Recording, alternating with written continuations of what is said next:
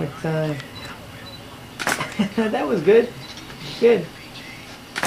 All right. Turn around. Let's do that. Okay, here we go.